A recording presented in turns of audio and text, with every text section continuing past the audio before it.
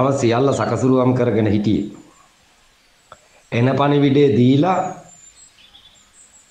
මං කොහොමද ලංකාවට සැපත් වෙනවාය කියලා ලංකාවට දැනුම් දෙන්නේ? ඒක කල්පනා කර කර හිටියේ. කොහොමද මේක කරන්නේ කියලා. අනේ ඒක සිද්ධ වුණා වෙන. අර ඊයේ හාමුදුරුවමක් ගිහිල්ලි වෙලා CID එකට මට වැරදිලා CID කියලා තියෙන CID එකට ගිහිල්ලා මෙයා ගැන සැලකිලිමත් වෙන්නේ කියලා තියෙනවා. අනේ CID එකේ ඉන්න උන්ගේ පවුල් වලටත් එක්ක දැනගන්න මං කතා කරලා තියෙන්නේ. මම රෙද්ද ලිහලා කතා කරන කෙනෙක් මගේ රෝම කූපයක් පවා මම යන වෙලාවට මෙහෙන් තියලා යනවා මිසක්ක ඒ රෝම කූපේ තියලා යන්න හොඳ නැහැ කියලා අරන් යන්නේ නැති වෙන්නේ. තියෙනවා තේරම තියලා යන්න. මං කල්පනා කර කර හිටියේ කොහොමද මගේ ආගමනය රට දැනගන්නේ කියලා. ඔය දැනගන්නේ. මං කිව්වා මීට දින 15කට කලින් රටෙන් හතරෙන් තුනක් දැනගත යුතුයි මගේ ආගමනය කියලා. ඔය දැනගන්නේ අගේට ලස්සනට. මේ පැතු පැතුමක් ඉෂ්ට වෙනවයි කියලා දැනගත යුතුයි. ලංකාවට ආවන් පස්සේ බලා ගන්න පුළුවන් හැකියාව තියෙනවා.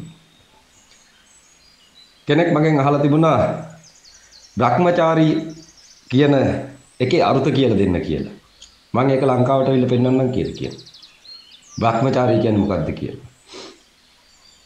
තනියෙන් වාසය කිරීම, තනියෙන් ජීවත් වීම, තනියෙන් තමන් ඇසුරු කිරීම. මෙන්න මේ කියන්නා වූ තුන තනියෙන් හැම දෙයක්ම තනියෙන් තමන් තමන් ඇසුරු කිරීම කියන தත්තට ආවන් පස්සේ කාගෙන්ම කරදරයක් වෙන්නේ නැහැ කියලා කියනවා. මේක තරුණ වියේ සිට තියෙන එකක් වෙන්නේ.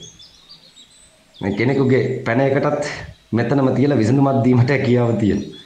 භ්‍රමචාරී වීමේ අරුත පැහැදිලි කරලා දෙන්න කියලා තිබුණ පිට. කුමරි බඹසර කුමර බඹසර කියලා දෙකක් තියෙනවා. මේ දෙක තුල ජීවත් වෙන කෙනෙකුට යහපත් ස්වාමියෙක් සහ යහපත් බිරිඳක් ලැබෙනවා.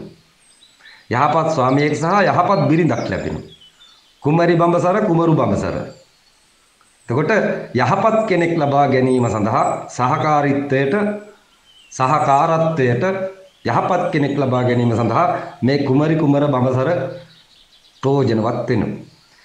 ඊට පස්සේදී දරුවෝ හදලා නැවත භ්‍රමචාරී කියලා එකක් තියෙනවා. ඒක බරපතල එකක් වෙනවා. ලේසියෙන් කරන්න පුළුවන් එකක් නෙවෙයි. ඕගොල්ලන්ට කරන්න පුළුවන්ද කියලා අහනවා. දරුවෝත් හැරලා බිරිඳත් හැරලා තනි වෙන්න පුළුවන්ද කියලා තනි වෙන්න ඉඩ දෙන්නේ නැති වෙන. බිරිඳ ඇවිල්ලි වෙලා මෙන්න දරුවෝ කියලා බාර දෙන්න. බාර දුන්නයින් පස්සේ බෝධිසත්වචාර්යාව එතනින් ඉවර වෙනවා. පැහැදිලි? ස්වාමී ඇවිල්ලා මෙන්න දරුවෝ කියලා බාර දෙනවා. ධර්මාචාර්ය পদවිය එතනින් කාන්තාවගේ අවසන් වෙනවා. මේ ආකාරයෙන් තියෙන එකක් වෙනවා. Taman taman ඇසුරු කිරීමට බොහෝ කාලයක් තිස්සේ ඉඳගෙන සංසාරේ පුරා පුරුදු කරගෙන ආපු දෙදෙනෙක් ඇවිල්ලා નિયમિત ස්ථානයේදී කුමර බඹසර කුමරි බඹසර පැත්තකින් තියලි වෙලා කසාද බැන්දට පස්සේ භ්‍රමචාරී වෙන්න ලෑස්ති විය යුතුනේ. ඒක තමයි බරපතලම එක. අමාරුම එක. දැන් මං එන්නේ දරුවොත් එක්ක නොවෙනවා. බිරිඳත් එක්ක නොවෙනවා. ආ යුතු වෙන්නේ එහෙම වෙනවා. මොකද මගේ බිරිඳ මගේ දරුවෝ වෙනවා. ඇයට මම බෝධිසත්ව එක්කක් බුදු කෙනෙක්කක් විශ්ණුවක්කත් අවලෝකීතේශරවක්කත් නොවෙන මගේ මිනිහා. මගේ දරුවන්ට අවලෝකීතේශරවක්කක් බෝධිසත්ව එක්කක් බුදු කෙනෙක්කත් නොවෙන අපේ තාත්තා. මෙන්න මෙතනින් යම්කිසි කෙනෙක් ඉවත් වෙනවා නම් પરම්පරා දෙකකින් ඉවත් විය යුතු වෙනවා. තමන්ගේ પરම්පරාවෙන් ඉවත් විය යුතු වෙනවා බිරිඳගේ પરම්පරාවෙන් ඉවත් විය යුතු වෙනවා. මේ දෙපලෙන් ඉවත් වෙලා පෙන්වන්න කියලා කියන කට්ටිය. ඔය ඔය ඇඟිලි දික් කරපු සියලු දෙනාම භ්‍රමචාරී වෙන්න ලෑස්ති වෙන්න කියලා කියන ඉස්සරහට. මට ඇඟිලි දික් කරපු සියලු දෙනාම භ්‍රමචාරී වෙන්න ලෑස්ති වෙන්න කියලා කියන ඉස්සරහට.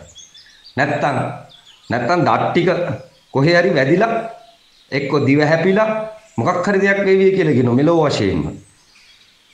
නැත්තම් උපදින ජන්මයක් ජන්මයක් පාසා බෙහෙත් නැති කාලෙක ලාදුරු හැදේවි කියලා කියනවා. එහෙම දේවල් තියෙනවා. ඒ කියන්නේ මහ බෝධිසත්වයන්ට ගහපු පෙස්සන් වලටලු අර එදා මහා කාශ්‍යපයෝ ලාදු රෝගියෙක් කුගෙන් දාන වේලක් වළඳලා ඒක අසුගතිගාමි කරේ. උපදින ජන්මයක් ජන්මයක් පාසා ඇඟිලි හැලෙන. රෝගයකට හසු වෙනවා කියලා කියනවා. ධක්මචාරී වෙච්ච මහබෝධිසත්වයන්ට නිගහ දීම. ධක්මචාරී වෙච්ච අපමහා බෝසතාණන් වහන්සේට නිගරු කිරීම. මෙන්න මේ හේතු කාරණා නිසා කට්ටිය විපාකවලට හසු වෙනවා කියලා කියනවා. ලේසි නෑ හොඳේ. දැන් මගෙන් අහලා තිබුණා භ්‍රමචාරී වීමේ ප්‍රතිඵල මොනවද කියලා අහගන්න කියලා කියනවා. සිංහ රාජයෙක් හා සමාන වෙනවා. ඒකට හේතුව නඩත්තු කරන්න එකෙක් නැති වෙනවා. ඒ වගේම අනුත්තර සම්‍යක් සම්බෝධිය උදා කර ගැනීමට හේතු වාසනා වෙන්නේ Taman taman ඇසුරු කිරීම වෙනවා. මෙන්න මේ සියල්ල කරගෙන සම්බෝධියටත් පත් වෙලා ලෝකෙටත් දොරටු විවෘත කරලා මේ මිනිස්සු කියන්නේ මොනවද කියලා මම බලාගෙන ඉන්නේ. බලාගෙන ඉඳලා ඉඳලා සියල්ල සකසුරුවම් කරගෙන ඔන්න මම ලංකාවට එනවයි කියලා දින 15කට කලින් පණිවිඩයක් දෙනවා. ඒ වෙලාවේ මම කල්පනා කරනවා මම නිකන් ඇවිල්ලා වැඩක් නැහැනේ. රට දැනගත යුතුයිනේ. කුමන නමකින් හරි එක්කෝ රෝගියෙක් හරි වෙලා මිනිස්සු දැනගන්න එක ලොකු දෙයක් නේ. දැන් අර පිස්සු බුද්ධ කියලා කෙනෙක් හිටියා ඒ කට්ටියන්ට ගරු කරන්න নমස්කාර කරන්න කිසිවෙක් නැතුව ගියා. මේ මට රටම වඳින්න ඕනේ කියලා එකක් නැති වෙන්නේ. ගරුනිකරු දෙකම තිබිය යුතු වෙනවා. එතකොට තමයි මේක හරි එකක් වෙන්නේ. නිවැරදිම එක වෙන්නේ එහෙම වෙනවා. ජීවමානව බෝධිසත්වය හෝ බුදුවරයෙක් හෝ දේවපුත්‍රයෙක් හෝ ජීවමානව නම් ගරුනිගරු දෙකම තිබිය යුතු වෙනවා. මට ගරු කියන පැත්ත අඩු වුණාට නිගරු කියන පැත්ත උපරිමෙන් තියෙනවා. ඒ කට්ටිය හරි දැනගන්න එක ලොකු දෙයක් වෙයි. මං කියන්නේ ලංකාවෙන් හතරෙන් තුනක් මගේ ආගමනේ ගම ගැන දැනගත යුතුයි කියලා වෙනවා. ටීවී නාලිකාවකට දුන්නත්, පත්තරයට දැම්මත් ඒව වැඩි බලන්න නැති වෙනවා. දැන් මේ ලංකාවේ ඉන්න වෛද්‍යවරු ටික ඉන්නේ. කට්ටිය ලෑස්ති වෙලා ඉන්න කියලා කියනවා. ඔය මට ලියපු කට්ටියන්ගේ ගාවට මං එන ඔයන ඔහලා මොන වෛද්‍යවරයද කියලා අහන්න. මොන වෛද්‍යවරයෙක්ද නුඹ? මේ මට බෙහෙත් ගන්න කියලා කිව්වේ. ඕ වගේ මානසික ලෙඩ්ඩු මතුවෙනවා. මං අහන්නේ නුඹලා මානසික ලෙඩ්ඩු නෙවෙයිද කියලා වෙනවා. සම්බුදු කෙනෙක් ලෝකෙට පහළ වුණාන් පස්සේ මම නම් කියන්නේ සාරිපුත්‍රටත් ලෙඩෙක් කියලා දෙන්න. අවසානට බුදුහාමුදුරු කියනුවේ. ඔහෙටත් තිබුණේ ලෙඩක්ක කියන. අර මං විවෘත කරලා දීපු දොරටුව අරගෙන ඉවෙලා ඔහෙත් බුදු උණයි කියලා. එහෙම නෙවෙයි සාරිපුත්‍ර. සම්මා සම්බුද්ධත්වයට පත් වෙලා එළියට ආවන් පස්සේ තමයි සකල ලෝක සත්‍ය උම්මත්තකා කියලා කීමට හැකියාව තියෙන්නේ. පැහැදිලි? සකල ලෝක සත්‍යම උම්මත්තකය කියලා කීමට හැකියාව තියෙන්නේ තථාගත කෙනෙකුට හෝ සර්ව තථාගතට පමණක් වෙන්නේ. ඔක්කොම උම්මත්තක වෙනවා. මනෝවෛද්‍යවරුත් ලෙඩ්ඩු වෙනවා. මගේ ඉස්සරහා. කී දෙනෙක් ආවද කියලා අහනවා මට බෙහෙත් දෙන්න. වසර පහක් තිස්සේ ඉඳගෙන. කී දෙනෙක් සනීප වෙලා ගියාද කියලා අහනවා.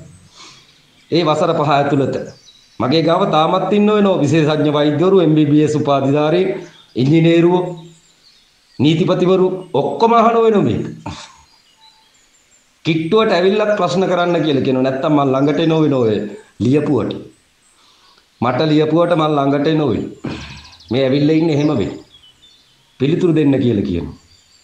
නුඹ සම්බුදු වෙලාද සම්බුදු කෙනෙකුට හෝ වෙනත් කෙනෙකුට උම්මත්තක කියලා කියන්නේ. සම්බුදු කෙනෙකුට සකල ලෝක සත්‍යයම උම්මත්තක බව පේනවා කියලා කියනවා. ඒකට හේතුව සම්බුදු කෙනෙක් විතරක් මේ පැවැත්මෙහි නොපැවැත්මෙහි නැති කෙනෙක් වෙනවා. සම්බුදු කෙනෙක් විතරක් අන් සියලු දෙනාම එක්ක පැවැත්මට හසු වෙලා ඉන්නව නැත්නම් නිවනට හසු වෙලා නොපැවැත්මට හසු වෙලා ඉන්නව. ඒත් ඉතින් සම්පූර්ණ සනීප වීමක් නොවන. රහත් වීම පච්චේක බුද්ධත්වය. ඒ දෙකත් සම්පූර්ණ සනීප වීමක් නොවන.